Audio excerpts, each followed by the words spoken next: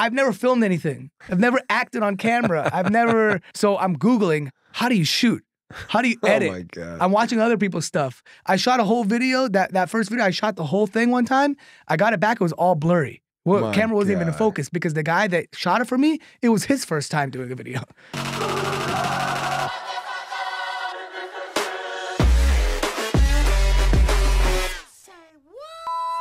Welcome to another episode of Wild Truth, the show that brings you the wild of wild out there. And today, it's not only wild, this person takes everything to insanity. Please welcome my guest, Adam W., ladies and gentlemen. Thank you, guys. Thank you for having me. Thank you, guys. welcome, buddy. Thank you. Really welcome. Thank you. You know, uh, I've had a um, short amount of time, but uh, really quality time with you. Quality over quantity. quality over quantity.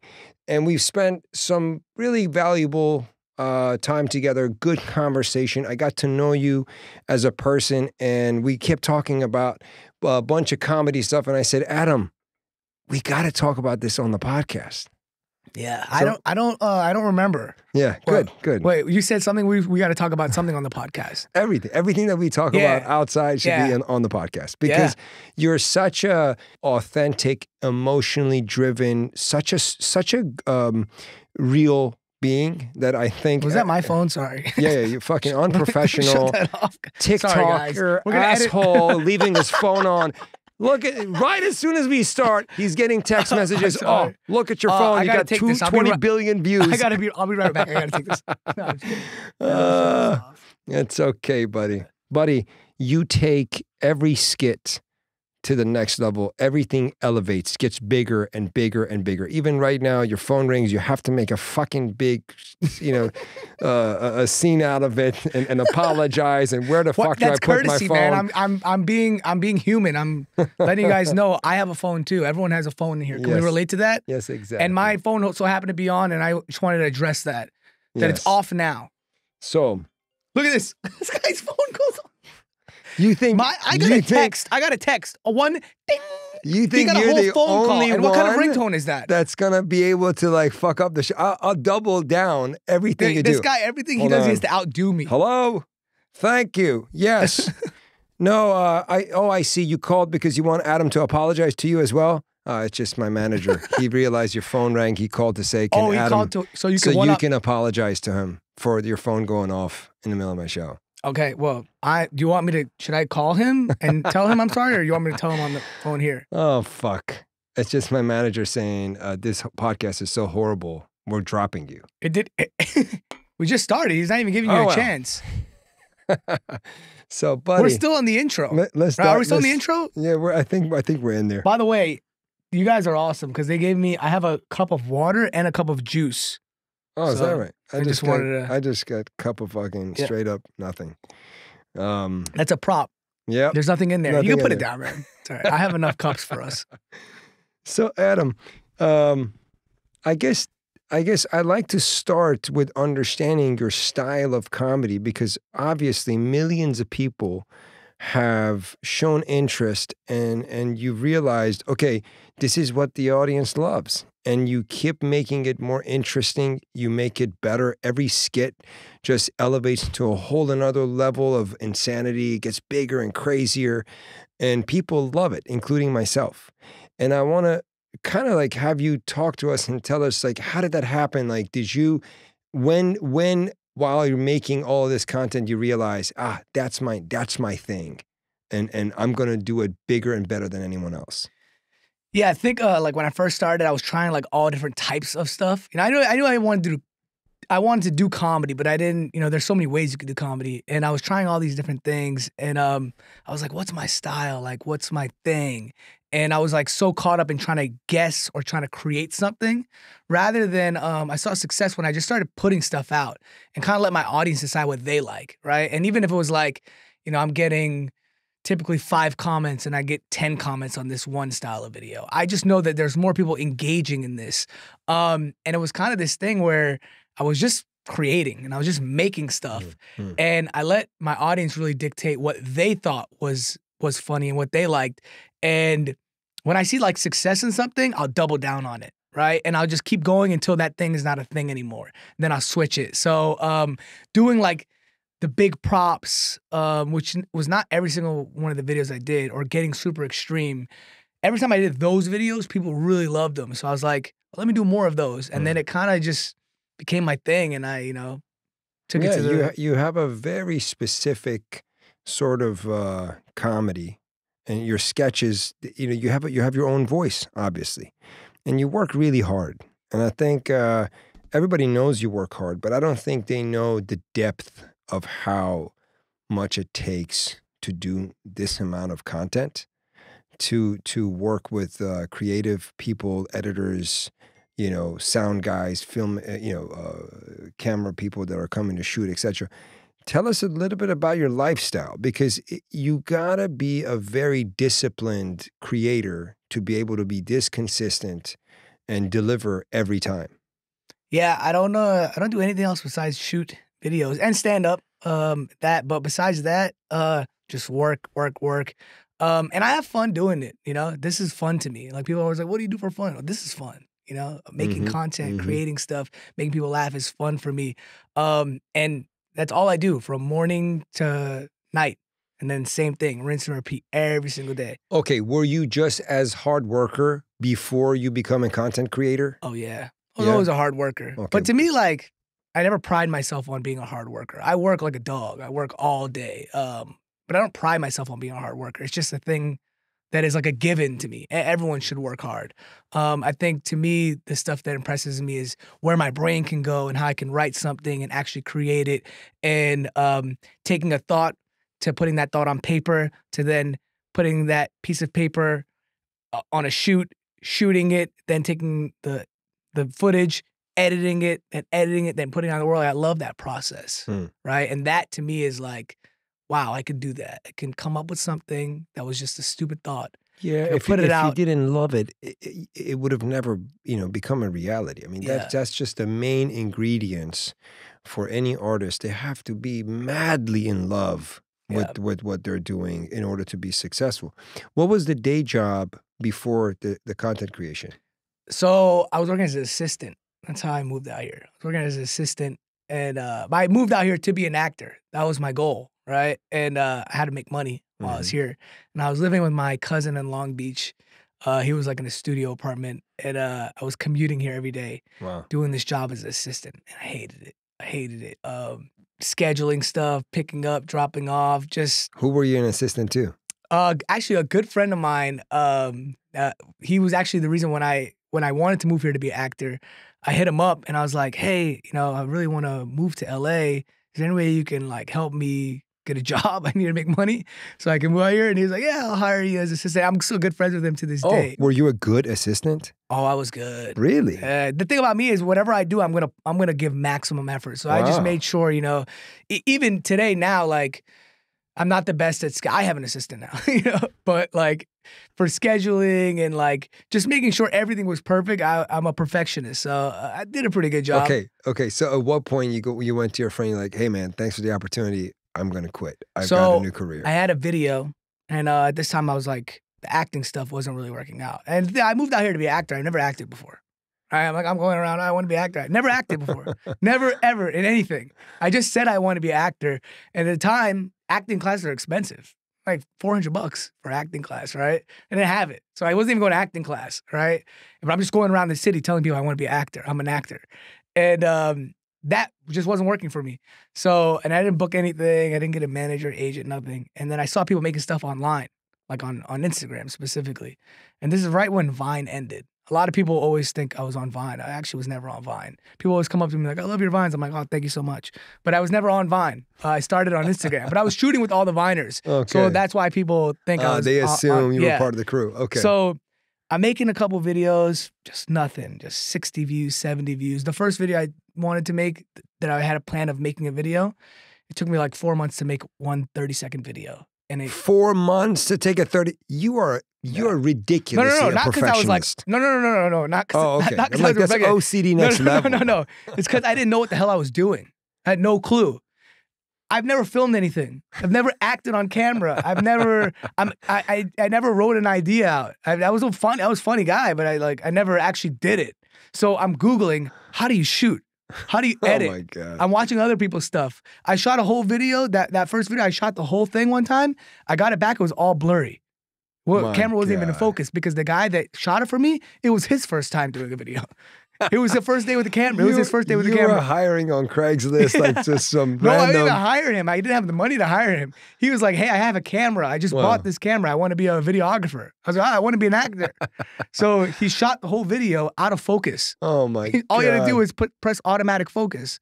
So that happened. Then, um, you know, try I, to I hope you still have that footage. no, so we no. can we can we can post your first time ever Oh, blurry, I- out of focus content. I don't know where that video is at. It's probably deleted somewhere. But he uh th- then then just getting someone in the video. Imagine like going up to somebody like, "Hey, I'm going to make this video. I have 300 followers. I'm going to put you in the video." They're like, "No. I have stuff that people have jobs.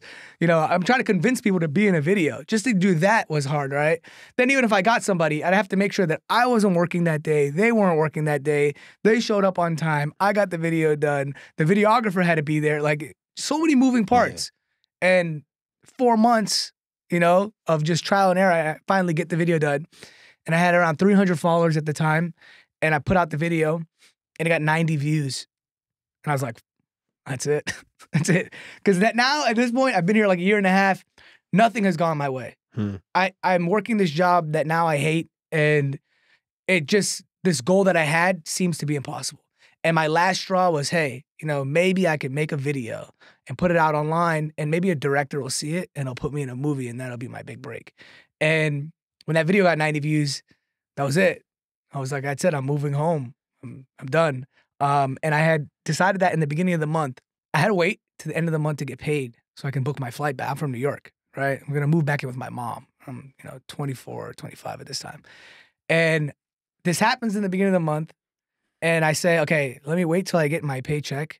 I'm gonna book my flight. That's it. I'm gonna move back with my mom, get a real job, I guess, do something, right? And while I was here, I was like, ah, you know what? I might as well film a couple more vid- videos. I have a whole month here, right? so I put out another one, 60 views, put out another one, 70 views. And then this fourth one that I put out, put it out in the morning. And then at nighttime, it had a thousand views. And I was like, oh, it's pretty cool. Like, I didn't think I was anything crazy, but you know, like I have 300 followers, I got a thousand views. That's pretty cool, but whatever. I go to bed, I wake up the next morning, it has 400,000 views. wow. And I'm like, what the fuck happened last night? Wow. this is crazy. And a bunch of people repost my videos, and one person, notably Ludacris, shared my video. How did he even see it? I still don't know to this day. Um, I had 300 followers, and this video goes to like 400,000 views. My page goes from 300 to 7,000 followers, right? So I have so much confidence at this point. Like this is the best thing that's happened to me in a year and a half, just in life in general, not like personal life. I was really down on myself during this time, right? And this is the best news. This is the greatest thing that's happened to me, right? I have 400,000 views on video. I have 7,000 followers. So I call my boss and I'm like, hey, and, and I had, didn't inform him that I was gonna, uh, that I was gonna quit, you know, at the end of that month. I probably should have, but yeah, I don't know anything. I was just, Dude. you know, whatever. So hit him up. I'm like, hey, you see my video? And he's like, yeah, it's crazy. You know, it went viral. And I was like, yeah, I'm, I'm gonna quit and do this full time. And he's like, are you sure you like just because you have a viral video, you're gonna quit? And I'm like, I'm famous. this is what I do. I get 400,000 views. I'm the guy. So I quit. And then the next video I posted only got 400 views. And I'm like, Oh my what's going god. on? Oh my god. What happened to all the people that watched the video? Where are they at? yeah. You know? Um, and the next video I post, thousand views. So instantly I had that taste of, you know, Mm. this got so many views, but then now the rest of the stuff's not getting anything, right? But I knew that just if you because hit it right, it's I- gonna it- happen. It, I'll do this 600 more times to get Mhm. that result one more time. Mm, I knew that mm. I did something right. I did That's something so right that got success. And I'll do this process 5 million more times to get that same result one more time. Because I know that now I have the confidence that I've done it. Mm. It's possible. Now we just got to figure out how to put the puzzle together, right? This is amazing. So so that that inspired you and I love your attitude when you said to yourself, look, I don't care what it takes. I'll do it as many more times. I know if it's hit once, I'm going to hit it again. So so you put all the persistent and hard work, and then look, we're here today. Yeah. Yeah. I just want to know, uh, in that window of hitting that first video 400,000 until the next one and the next one, and, and things pick up. You quit your job. How did you make a living? Because Yeah. really, we all know these videos not necessarily pay you any money for you to be able to pay your rent and, and get your food, etc. Yeah, so at that time, I was living in Long Beach with my cousin in a studio apartment. It was horrible. My bed was next to his bed. It wasn't even. I was on a couch and his bed was here, and um, I had met some people. I was here for like a year and a half. I had met some people, and uh, I ended up moving to North Hollywood. And I was a two bedroom with six people, like curtain in my room, everything, right?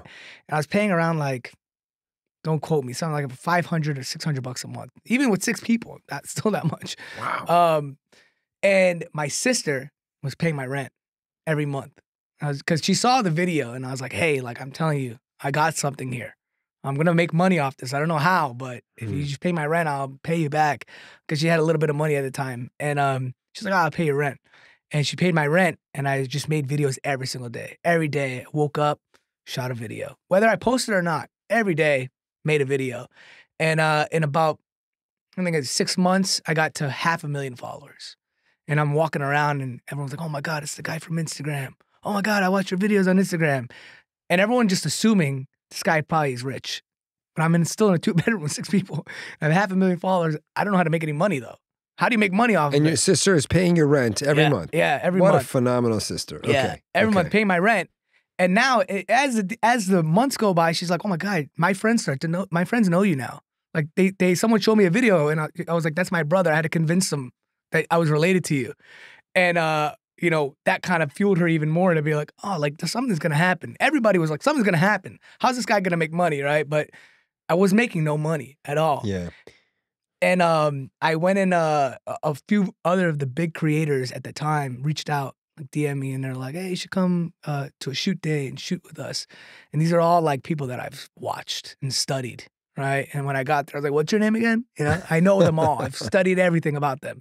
Um, and I'm I'm I'm pretty shy guy. I was, you know, at the time. I didn't want to like step on anyone's toes. I didn't want to uh, offend anybody. I was just grateful and happy to be there. Right? Like there's people in here with millions of followers. I'm just a student of the game. I want to be like them. But I'm in the back of my head. I'm like, how the fuck is everyone making money? because I'm broke. How Yeah. are all these people making Yeah. money? Like I don't want to ask anybody. I would never dare to ask somebody about their business or how do you make money. It's a rude question. I don't even want to ask that to somebody. So I'm just kind of observing, and I hear some people talking, and they're like, "We're doing. Uh, I have a brand deal for this, and this company's paying me to do this." So in my head, I'm like, oh, "How the how the hell do I get a brand deal? You know, that's what I that's what I need to get. I need to get a brand deal." And uh, I had this this series I was doing at the time, and every time I posted this series, it get a million views. It was my best series. Every time I posted this video, it get a million views. And I had this idea where I was like, okay, I'm getting a million views, but why are no brands reaching out to me? Maybe if I have a video that goes so viral, that gets so big, a company will see it and they'll reach out and they'll pay me. That's just what I came up with in my head.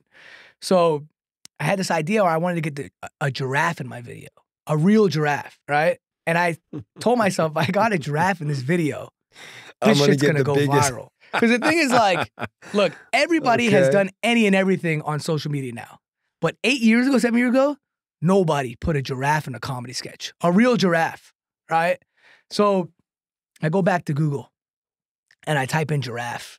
And on the 10th page of Google, I find a guy who claims he has a giraffe. So I give him a call and I'm like, hey, I'm embarrassed to even tell him it's for Instagram. He probably doesn't even know what Inst- he didn't even know what Instagram was. So I'm like, hey, I'm a student and I'm doing this student project and need a giraffe.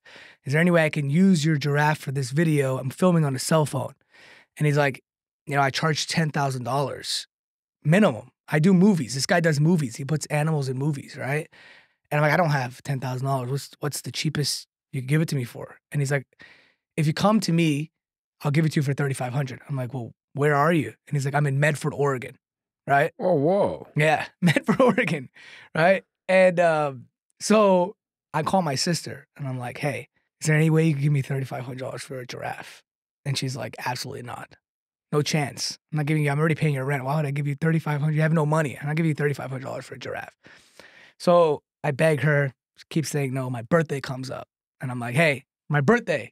If you're giving me the money for my birthday, I promise you I'll pay back. And she's like, okay, you fucking idiot. Here, thirty five hundred dollars. You better pay me my money back. And she's serious. She's really mad. She's like, you better like find a way to give me my money back. So I get the money.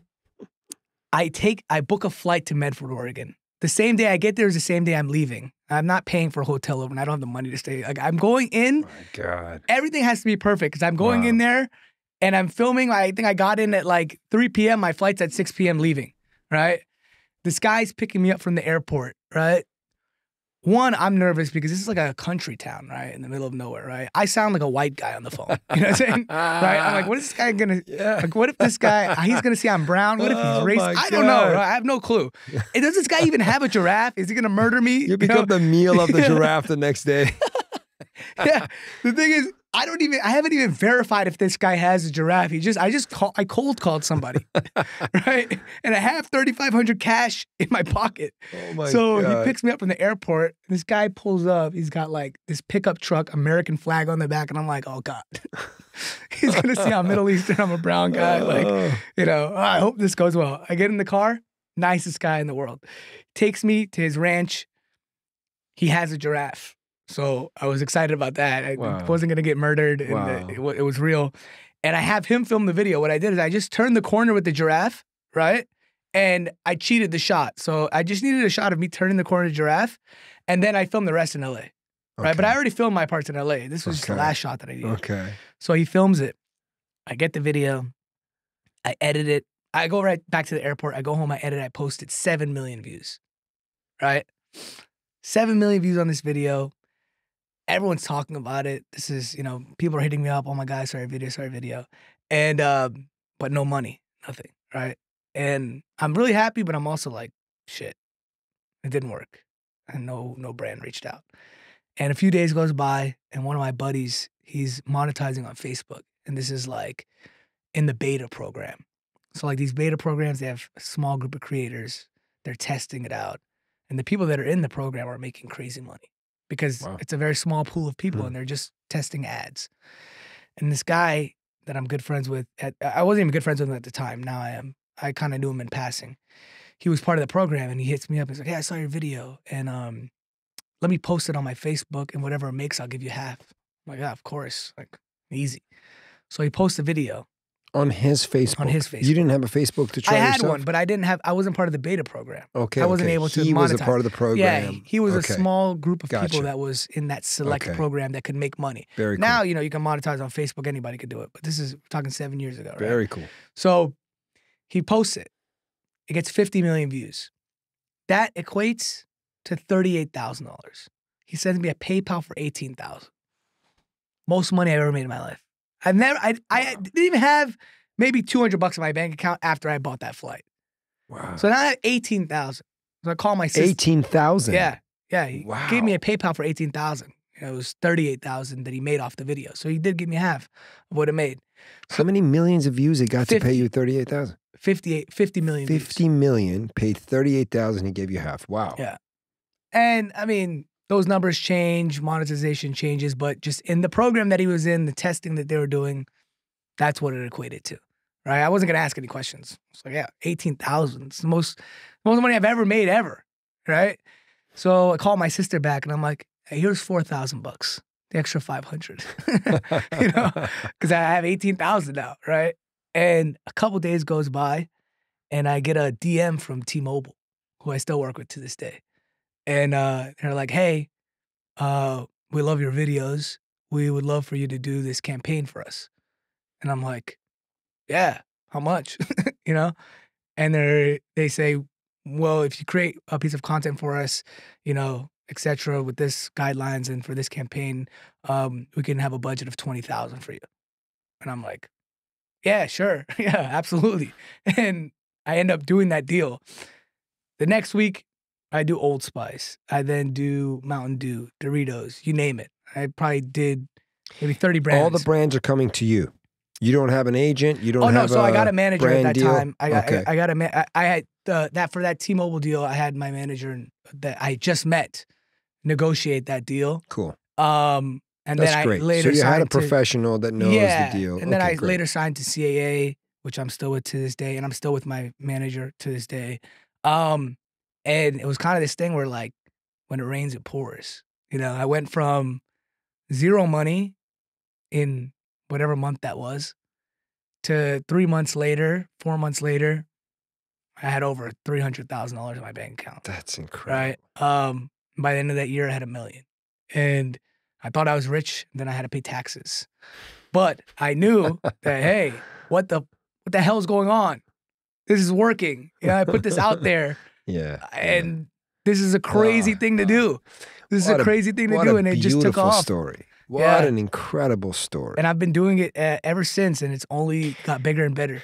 buddy there's so much lessons in this in this story that you said for anybody that they don't people that are listening to this they don't have to be a content creator to be taking a bunch of nuggets from this personally i took the idea of i should start a giraffe business you know Yeah, i mean Dude, I know a guy. $10000 I know a guy. to just come make a video with my giraffe no problem I know a guy. uh, but buddy, really, this is this is such a beautiful story. And now that you brought up a few points, the fact that you're brown, uh, you got to tell us what kind of brown. Yeah, so everybody can can understand because you know it's important. My brown side, they want to know. The other browns want to know. Specify. Yeah, uh, I'm Egyptian and Afghan, and um, my my sister actually took a 23andMe.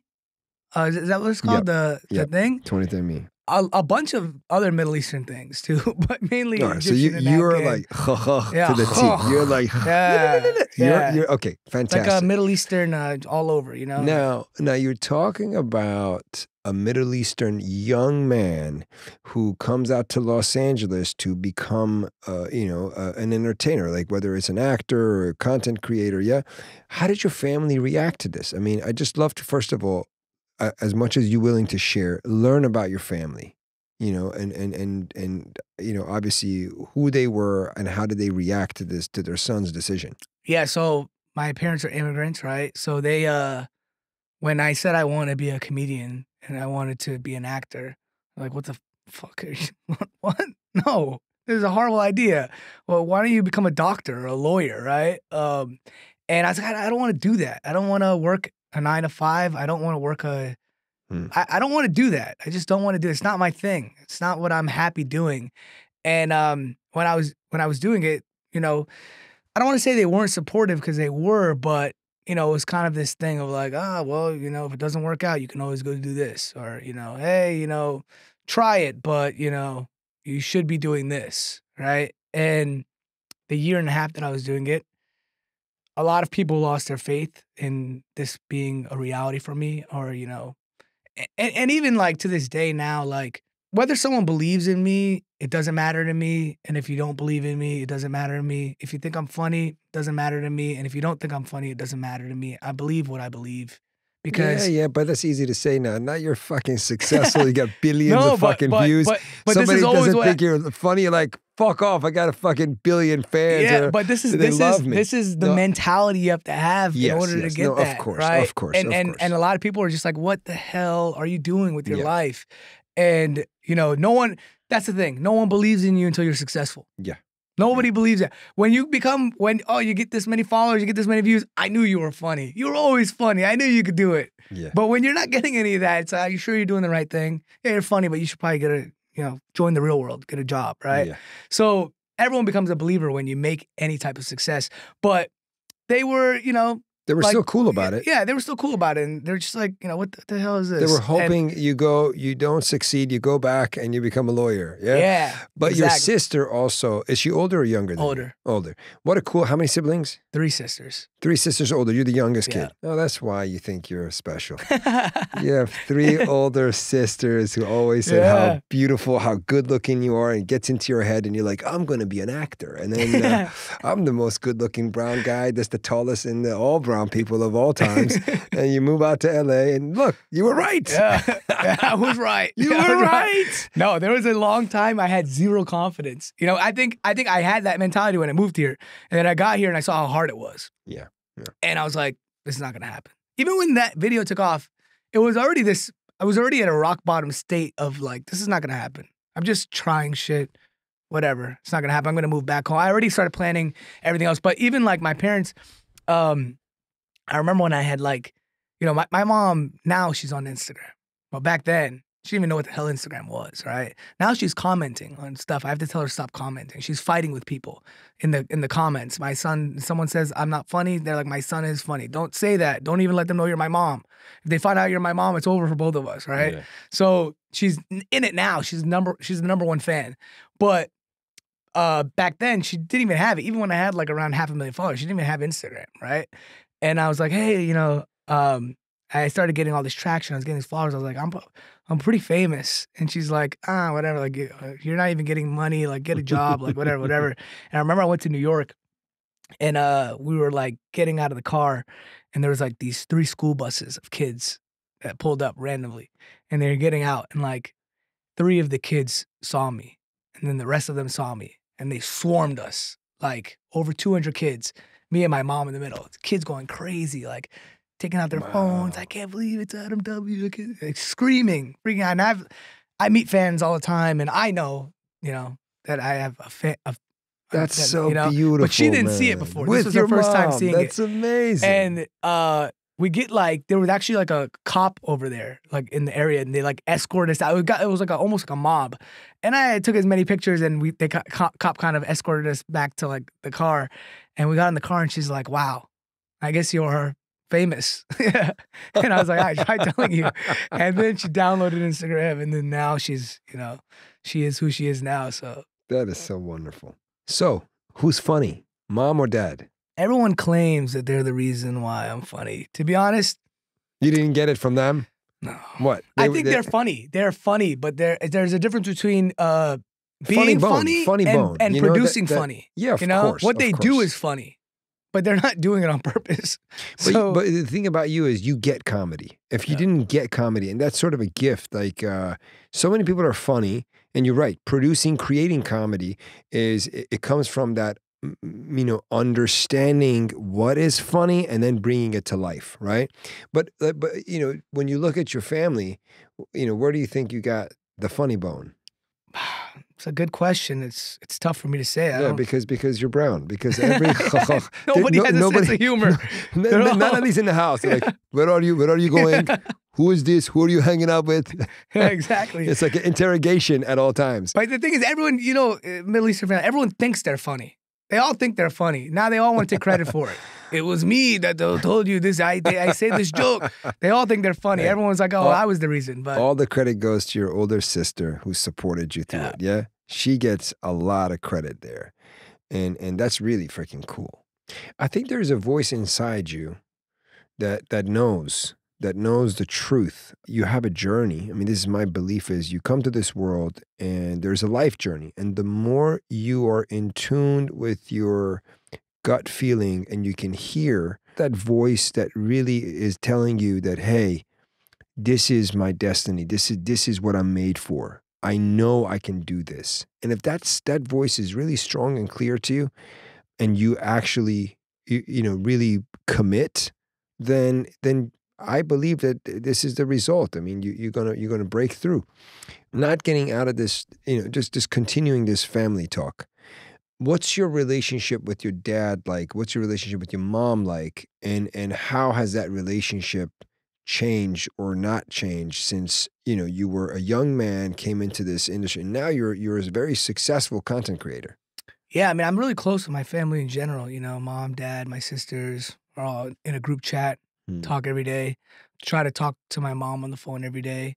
So really close, you know, really close. I think it's so important. Um, you know, I think I have like tons of colleagues and people that I work with that are friends, but for me, you know, a place that I can always be myself and not really have to try.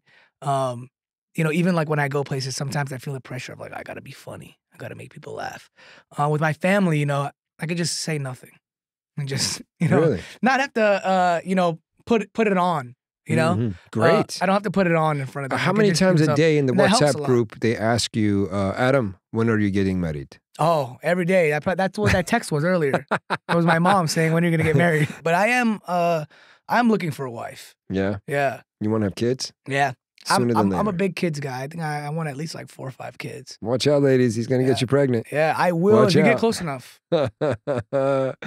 Listen, you're such a good guy that I wish for you to find someone that is just as good as you. And when I Thank say you. that, I mean like spirit wise and just intention, you know, pure intention, good hearted woman comes into your life and you guys create an incredible family and uh, there goes your content your content goes to shit now you're making just baby videos and, and more no, those you know. first of all, those baby videos They they, do, do- numbers. oh so that's why you want to get married you want a kid just you want to you want to double the views These kids, this guy. Yeah, he these needs kids are more gonna- views. yeah, these kids, the second they're born, they're pumping TikToks. They're pumping TikToks all day. I'm opening up. It's gonna be like one, you know those Uh, influencer houses. Yes, That's gonna be the house with my family. Everybody's got to put out content. That, that's amazing. Oh my God. That's what- okay, you know. good stuff. Good stuff. Um, buddy, who's your comedy inspiration? Comedians that you look up to. in general or like I have like a stand-up guy, I have movie guys. Yeah, like who's the comedian that that that really inspires you? You know, that you love. Well, one, I love Judd Apatow, like the films that he puts out. I think you know he's made some of the best comedy films that we've seen. Um, Kevin Hart is another guy who's just hilarious. Um, his you know mind, how he thinks, how he puts comedy out, unmatched. Um, acting wise, I love uh, Adam Sandler. I love Ben Stiller. Um, like all these guys, I kind of watch a little bit of everybody. To be honest, there's a guy Max Amini that I watch. I went- swear to God, he told me that's why I brought him on the podcast. and now he's a star from Judd Apatow and then it goes to Kevin Hart. The fuck. I, I'm the only other brown comedian that, that he said, I love you, Max. And I was like, we need to do the podcast. This is the whole reason we fucking Yeah, sat down no, and you're going to sell me out in front of No, everyone. no, the thing is, I was saying all these other names just to get to my story about you. My like when I watched you, I'm not even bullshitting here. Uh, I remember when I watched you at Laugh Factory, I was telling him the way you position, like how you do comedy. You know, even like this guy. Okay, if you guys don't know, like he's in the club and he's going up there and he'll talk to somebody all the way to the left and he'll pick on them, he'll roast them a bit. Some funny, funny stuff happens, and then he moves on and he finds somebody in the middle, and then he starts messing around with this person, right? And then he finds a way to relate this person and this person together, right? And now he's got this joke going, bouncing between all three of them, right? Then he'll find somebody on the right side of the room, and they'll start picking at them and hearing their story, where they're from, what do they do for work, and then I'll connect all three of them. And it's like this genius of like you're getting everybody in the club to just cipher all the laughter to the middle. And everybody's laughing and you're doing this bit and you're kind of working the room truly working the room right? And i'm like is this guy doing this on fucking purpose? Or like because this is what i'm seeing because like the first time i watched it i just watched it and i enjoyed it and i laughed right? And the second time i'm enjoying and laughing but i'm like how the hell is this guy doing this what is his strategy here and I it's so good that you're able to uh, just work an entire room. And what it does is it brings the audience together, and it, and it brings such a magic to the performance because it's like whether you weren't involved in the beginning or you weren't laughing as much. By the end of the show, everybody is so wired up, and everyone is so like brought together. It's almost like when you leave, we're like, "Fuck, we don't want you to leave." You know, um, and I think that's that's the magic about you. Thank you, buddy. That's fine. That's fine. I didn't say that about Kevin you Hart. gave me I didn't say that that, about anyone else. You're very sweet. You're very observant. That's what's very special about you. And and uh, since you gave me all that love, I have to say that uh, when I watched you, you told me, Max, this is the ninth time I'm going on stage. I was like, what?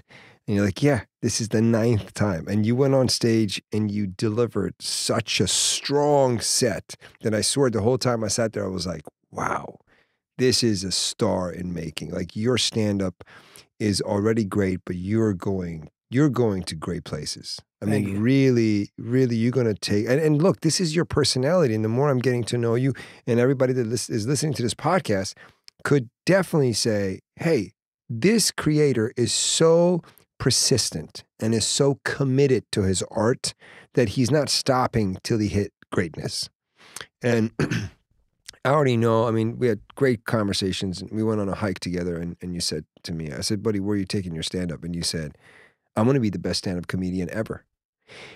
And that's so wonderful to say out loud. A lot of people might say, "Oh, I don't want to say something like that out loud because I'm going to come across conceited or I've got a big head or something." But it's so important to say that out loud and say it to your friends and family and people around you because you set up the bar as high as you can. And that's how you truly are going to go you know really really great places because you're not putting you know some sort of uh, a, a low goal for yourself you're going i'm going to be the greatest and regardless you're going to hit some incredible places with your comedy and that's really exciting this is uh, so comedy inspiration Max Amini and then all the other people Yeah, yeah, I'm not. I'm serious. You uh, are an inspiration to me. Stop. You know, no, because even like you know, I, I'm new to stand up, and I'm getting into this world of stand up, and um, it's one thing to appreciate somebody, um, you know, if you're not doing that craft, right? Like I'm not doing, I wasn't doing stand up, and I can say, oh, this guy's funny,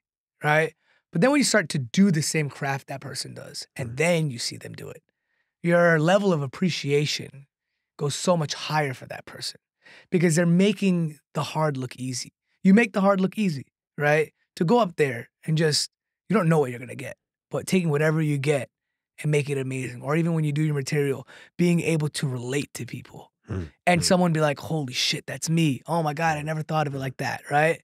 It seems so simple when you're watching as just a fan, right? You don't you don't really understand the expertise, the level you're at when you're just watching as a fan. But then when you start to do it, right? Your appreciation goes through the roof. So even like when I was watching, I'm just like, this is what I'm trying to do. And he's so good at it. And it's just it- he's making what's hard for me look easy. Right. Mm, and that mm. that makes me think, okay, I can get to that level if I have to put the work in. I have to- 100 I have million to do it. I have to get the reps in. So So what happened that you decided that I'm going to do stand up? You I mean, you were doing so you're doing so incredible, yeah, and then you go, oh, I'm not. I'm working so hard. This is not enough. Let me add one more big ass challenge and start touring and going out there and writing material and performing. Um, what happened? So I've always wanted to do stand up. That was all- I, I've loved stand up for as long as since I was like 19. I love stand up. Mm. I never like thought I would be able to actually do it, but I always loved it. I've watched it. I've seen everyone's special. I still do to this day. And um, when you're doing sketches, like I think just as of recently, like maybe last year, I got to the point where I don't get stressed out over sketches anymore it's so easy for me now because I've done it so long. I still put effort in and It still requires creativity, whatever, right? But I've put my hours in to master that craft. Mm. Whereas, like, you know, two years ago, if I wanted to start doing stand up comedy, my brain was like, okay, this is a sketch joke, but this is a stand up joke. And now I'm getting stressed. There's too much, right? Whereas now I feel like I can do sketches in my sleep. I can just do them. It's a very uh, basic formula that I have, and I just pump them out. And now I have the brain power to attack stand up, where I'm not gonna be stressed about, oh, I still have sketches to do and now I have to do stand up. Now it's like sketches, I'm gonna just do them. They're easy for me now because I've put so many hours and years and years of hours where it's easy for me. So now my brain has a capacity to do stand up. So it was always a thing I wanted to do. It was just about timing and when the time was right. So I've been on stage maybe like maybe 25 times now.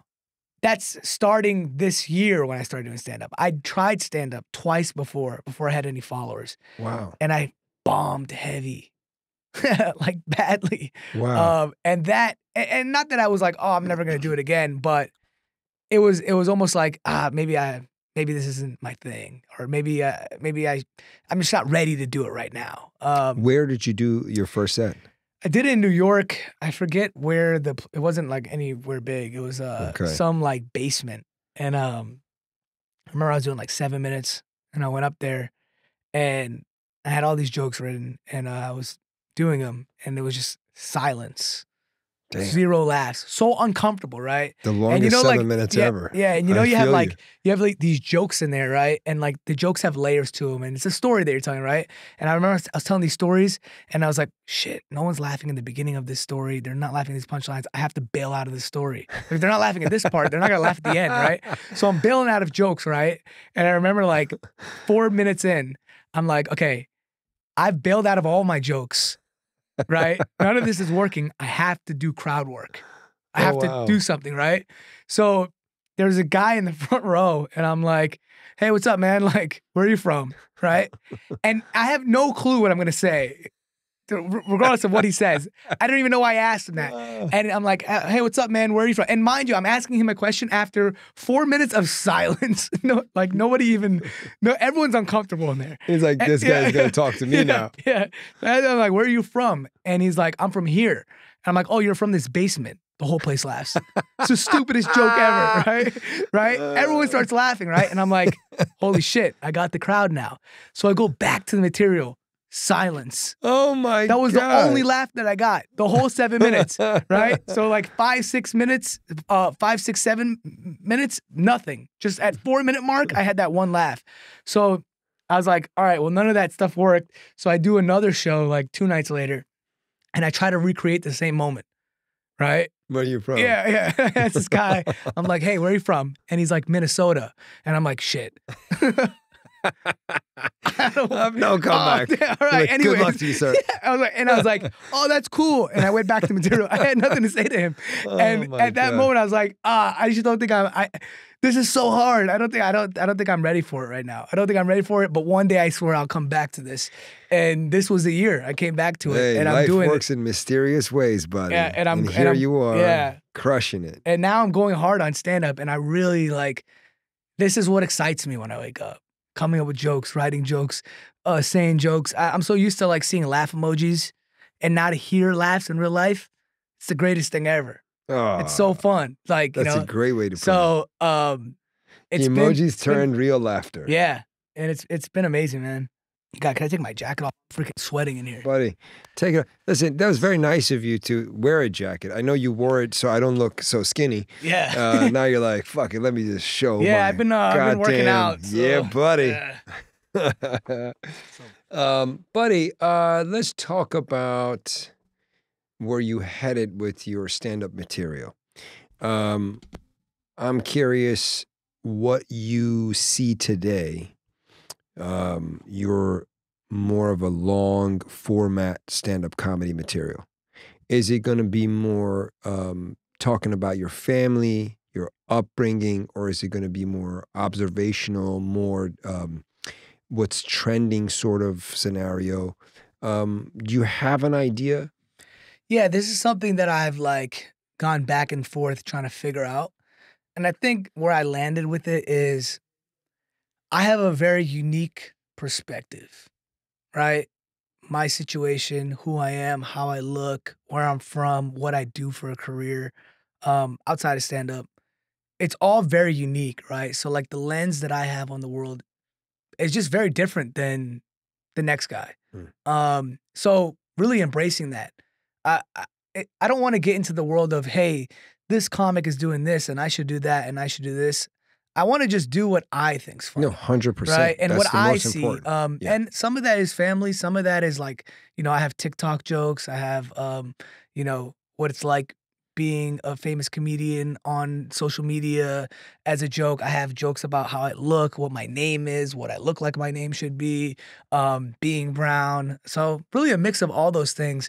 Um, but it is a very uh tricky thing to navigate. I've been trying to figure out what do I what does an hour look like for me? Because you see me do like five minutes, right? And it's cool, but and it's growing what, fast. but what you is called what- me from Florida and you said, Max, I just run added another him." two minutes. Yeah, That's really exciting.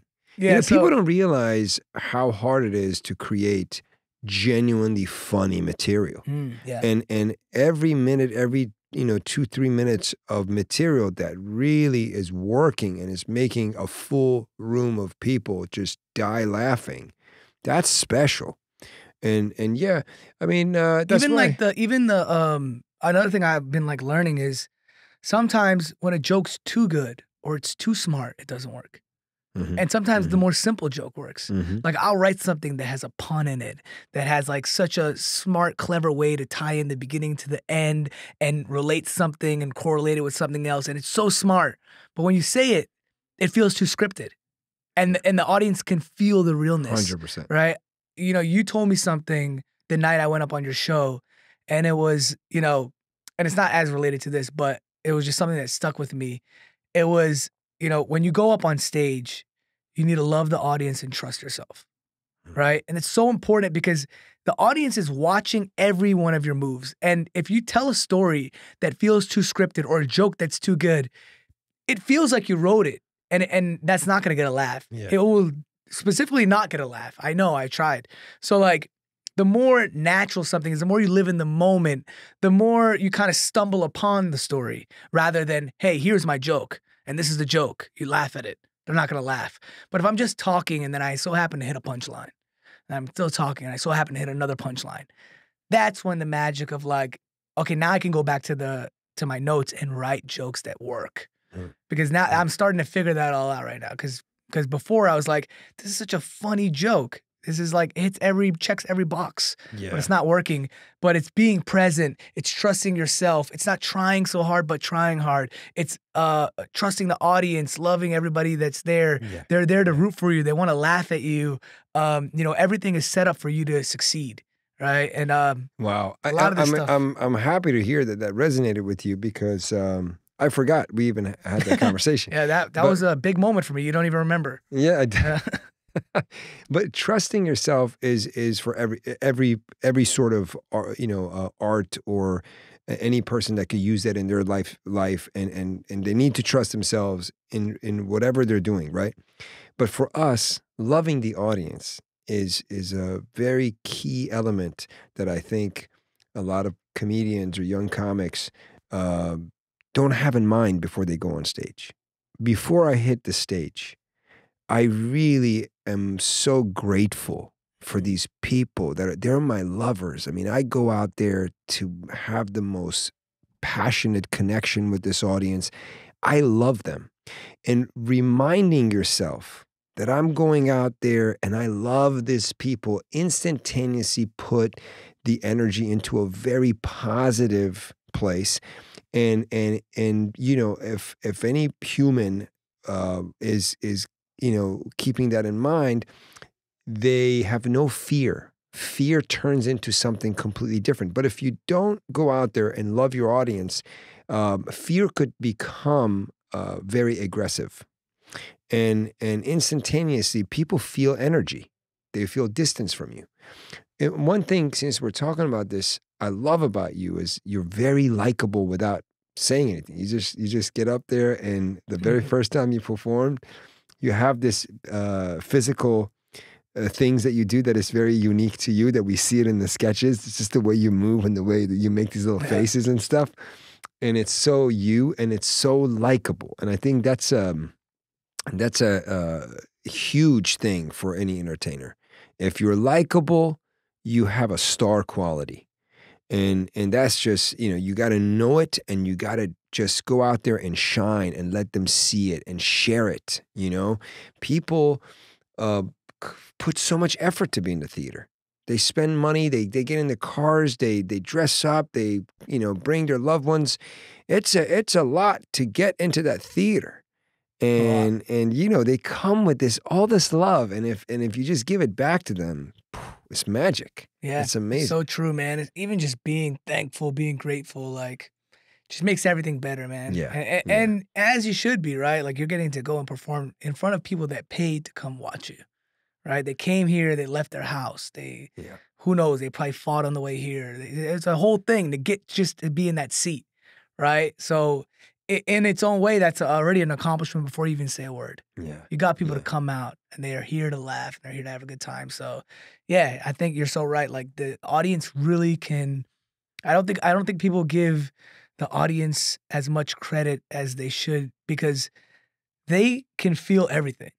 Right? Even if you're not saying anything, they're they're analyzing every what kind of shoes you're wearing, what kind of pants you're wearing, your facial expressions. Do you actually believe what you're saying or not do you not believe what Yeah, you're saying? yeah. They, they're, they're, they're, they, their senses are so high. So it's, it's so important when you say something, you know, even something, you know, that I've been like trying to manage is I've been doing the same jokes, working on the, on the jokes that I currently have.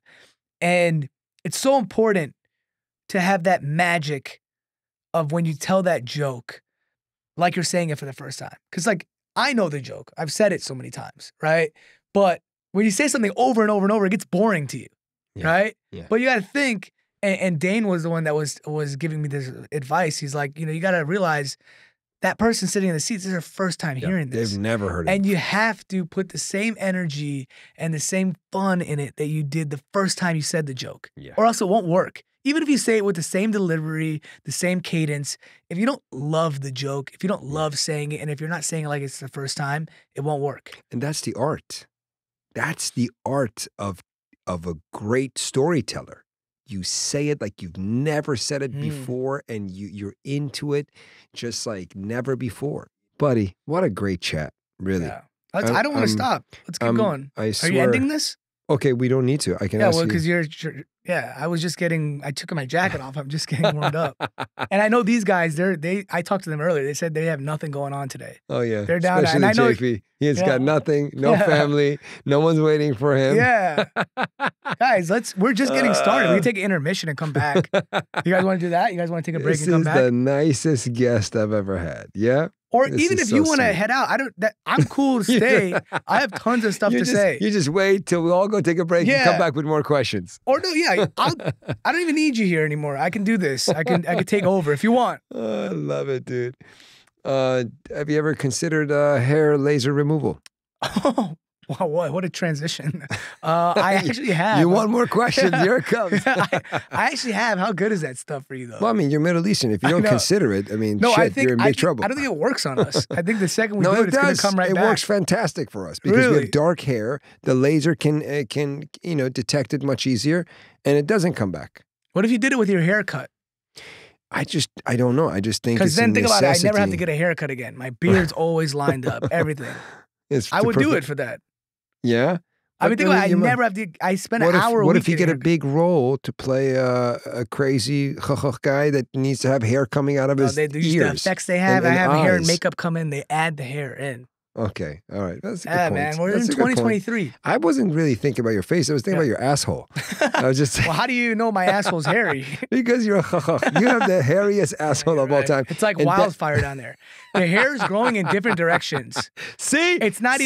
even. No, it- it- he's yeah, explaining. It's it, and even inside like the, the no man's land area, stuff gets stuck in there. I don't even. There's paper clips in there. There's wrappers and it, it. The hair is wildfire. It's growing all over. Well, we have a gift after this podcast. I don't even think it's a laser hair removal from our sponsor. our sponsor is an Armenian clinic in Glendale. Oh, really? Yes, they specialize in very heavy duty, extra special, you know, hair laser removal machines. Uh, Is oh it my is the la- is and I'm it's not. I'm asking for a friend. Is the laser safe on a butthole? Absolutely. It's just designed for the butthole. It is a butthole yes, laser. It's just a butthole Oh. laser removal. Oh. That's the name Oh, of this the is the- clinic. it's oh, called but- butthole they can't do laser hair chest hair. removal. They don't no, have this- no, they don't have the They specialize in buttholes. It's just a butthole laser. Got it. Okay, well, yeah, I still have like a Oh. hairy ass and hairy back, so I don't. I don't want just a clean butthole and. No, and specifically, if you're mixed Middle Eastern, Egyptian, and Afghanistan, Afghani, then double the price. Double the price. Yes, you have to pay twice. Well, good thing I know you, right? They're a sponsor, so I'll get it for free. I love you, dude. Uh, since I said that, I want to actually maybe we end on uh, something very meaningful. You know, because it's a crazy time in the world, and and uh, I'm Iranian, and you mentioning that you you know you have a uh, you know a background from Afghanistan. What the people of Afghanistan, the people of Iran, are going through because of their government because you know uh, the limitation that the society has put on them. It's so sad, and it, and, and and it's important we acknowledge this as people that are um, on the other side of the world. We're lucky to be living in a country that we could do what we want to do. And uh, I want to tell you something. As an Iranian, my heart goes to the women of Afghanistan first. I mean, women of Afghanistan have it even harder. And I truly wish that the universe comes to the rescue. Something magical happened because it's so hard to see what's happening there and it's so hard not to say anything about it. And the reason I'm bringing this up to you is because I want to know if you do anything special to give back to Afghanistan, to to the Middle East, to uh, any any any scenarios or charities or anything that you, that you that you're passionate about. Yeah, I mean, on a smaller scale, I've like posted a couple links for charity to kind of, you know, eh, they recently just had an earthquake over there, which was Mhm, horrible. A lot mhm. of people passed away um, and didn't survive. Um, so I posted a couple links for that um, on my stories, but it's it's really unfortunate, man. It's so tough, and and it it gets even tougher when it's like you can't do anything about it.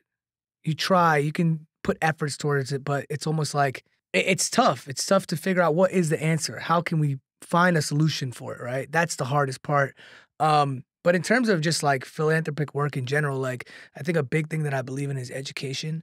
Um, and I truly believe that education is how we end poverty, you know? And I've done two schools now in Indonesia um, where I'll have my audience raise the money.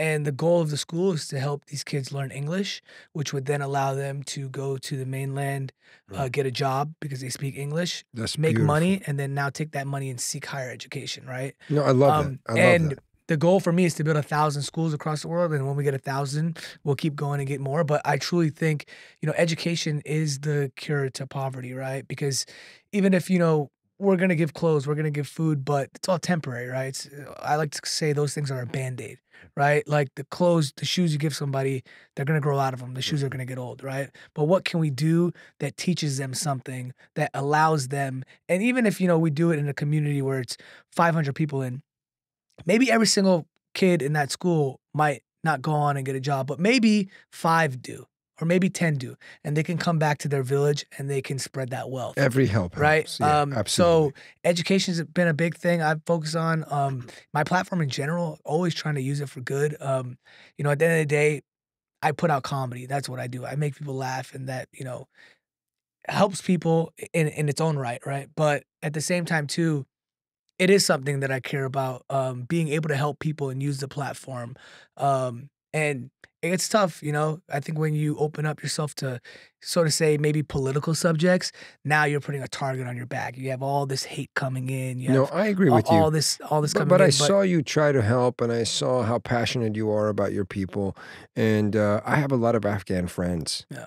And um, you know, I I have a friend of mine that she builds schools in Afghanistan, wow, and um, I want to get involved in that. absolutely, I'm because even with that, like I think. I think even with the entry point in a lot of schools, like even with the Indonesian school, it was so easy to get in and work with a charity on the ground. Um, and in Afghanistan, it's a little bit more tricky to get in and know that hey, this money is going to go to the the school. right We're going to build a school. correct. Um, you know, can I go there, see it, see it get made right? Um, so it is it is a very tricky thing to vet, right, and make sure you're working with the right people. Yeah, because then I don't want to raise not- money for You can something that definitely it's not, not gonna go there. Adam. You cannot go there. Yeah. I don't think you'll come back. Which is which is the tricky thing, right? Because like school you. I I don't want to raise money for something that I don't know where that money's going. Yeah. I want to Yeah. guarantee that Yeah. the money is going to that school and it's being built, and it's kind of tough when you can't physically go and Yeah, yeah. But there's there's people that are doing magnificent jobs out Yeah. there, and and I'll connect you to this particular lady that I know. She's such a wonderful girl. She, uh, her and her husband built uh, two schools Wow. uh, in Afghanistan, and then the the Taliban's destroyed the, the schools and they rebuild them again.